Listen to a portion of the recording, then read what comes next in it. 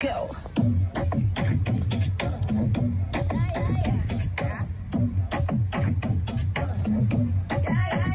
A mí me gusta every time you look at me that way. A mí me gusta en cada detalle que te hago y que me haces bien.